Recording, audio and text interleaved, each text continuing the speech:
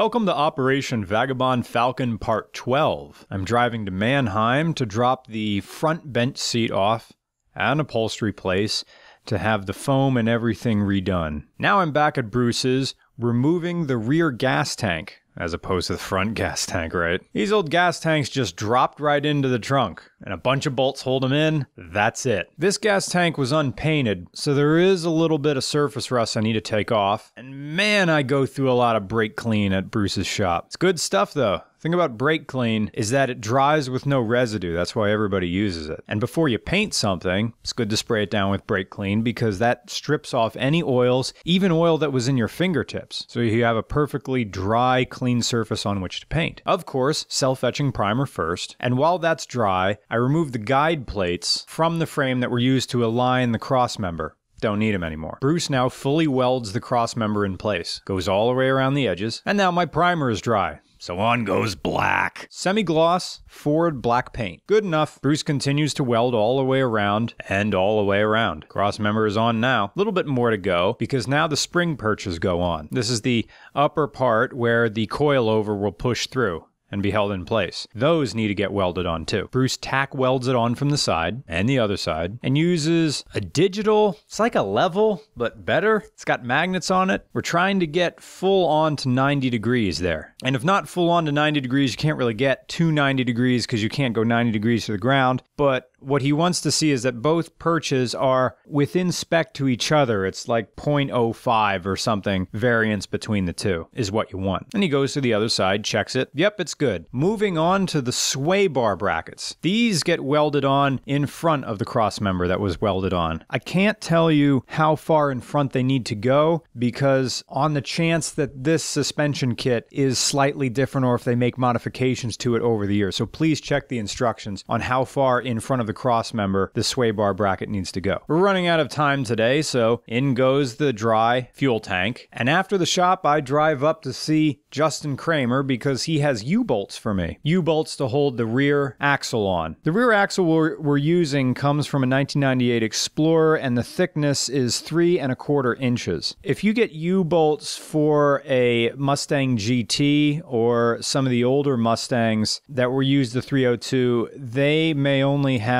a tube thickness of three and one eighth inches. If you're going to use a Ford Explorer, like a higher end Ford Explorer that has the nice posi traction in the back, uh, you're probably going to need U bolts that are three and one quarter inches. They're a little thicker. Small dog. Oh, corgi puppy, corgi puppy. Oh, you're so tiny. Oh. Oh, you want the stick? You want the stick? Oh, yeah, you want the stick. Oh, you got the stick. Small dog. Anyway, U bolts. Thank you so much, Justin. This made my day. Now it's the next day. These are panels that cover up the hole where the shock towers used to be. Four of the holes are going to line up, the rest of them you're going to have to drill through. No welding is needed here, they, this just bolts right in. Before we can weld the sway bar brackets on, a tiny notch needs to be ground out of the corner because where we're supposed to weld them, there's a little plate here on the side left over from previous stuff with the stock frame rails that we can't take out, so we need to grind a little notch in the side here so the sway bar brackets will fit. And they get welded in, tack welded first, then full on welded later. That's good. Zap, more zap. And suddenly it's painted. Now, you don't want to watch me paint, but the paint here that we used is Duplicolor Ford Red, which is sort of close to the Monte Carlo Ford Color J Red that is inside the engine. I bought one can of that and it cost 25 bucks. So it depends how much you want to spend. You want to get it perfect?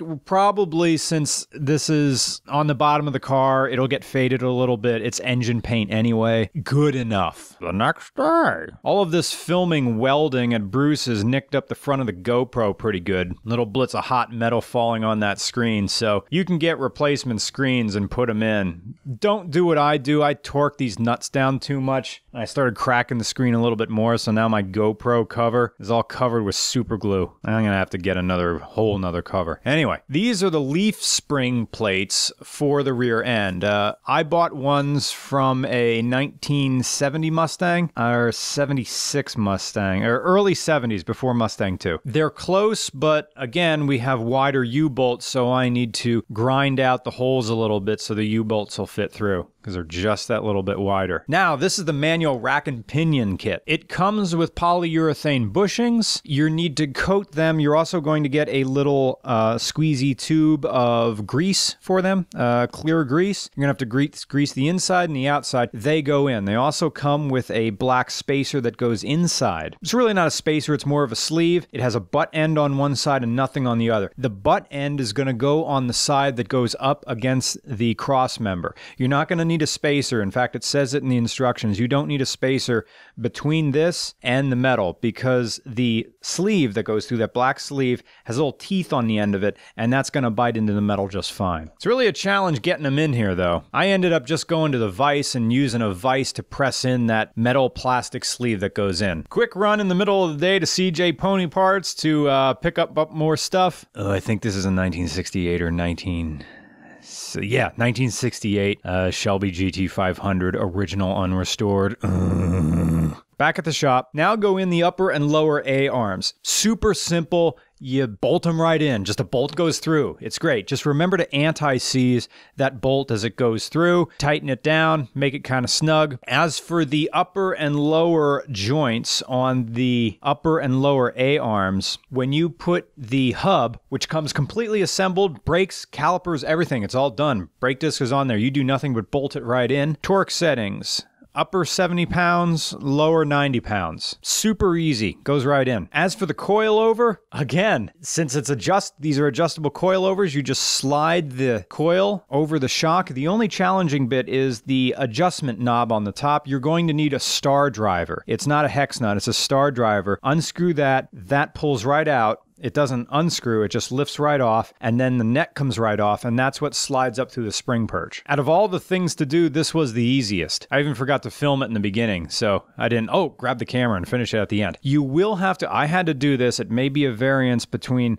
different uh, runs of this cross member. I had to widen the little holes there in which the rack and pinion kit is going to go. This was a bit of a pain because the bolt goes in toward the cross member, and then you have to get your fingers up in that hole and ever so slowly start that nut onto the bolt. And then you don't have a lot of working room, so you have an open end wrench to kind of hold it in there. You kind of it half holds it, so be gentle with it when you're cranking it down. There's no torque settings for this, just make it snug and tight. Now you need to find out where's the center on the steering because there's no steering shaft on it and certainly no steering wheel. It's hard to tell where the rack is in relation to itself. So what you do is you turn the rack so the ah, what are they called? These big bolts that push the wheel around.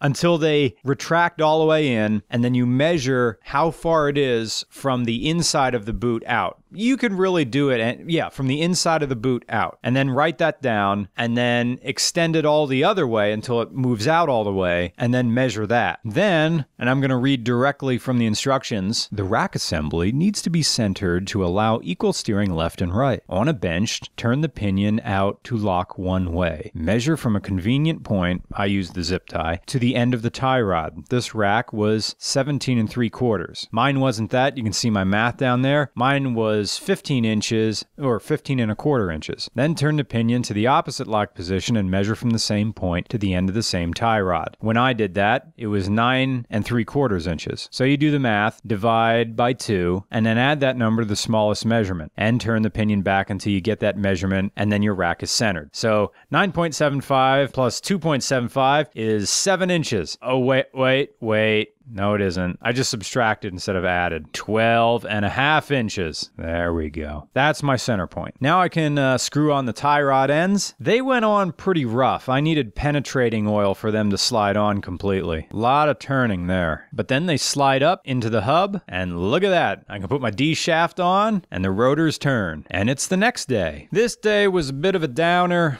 because the Ford 8.8 1998 Explorer rear, the spring perches aren't right. I mean, I should have saw this coming, right? Who'd have thunk a 1998 Explorer spring perches on the rear end don't line up with a car decades older. So this delayed things about a week. Instead of grinding off the old spring perches and moving them, we don't have time. I'm just going to order new spring perches and Bruce is going to weld them right where they need to be. So this rear end is going to have a set of spring perches that are going to be used and a, and a set that isn't going to be used. It's just how it goes. Next time on Operation Vagabond Falcon, I have no idea because I ran out of film. I didn't film it yet. Probably something to do with the steering and getting those spring perches in. Have a good week.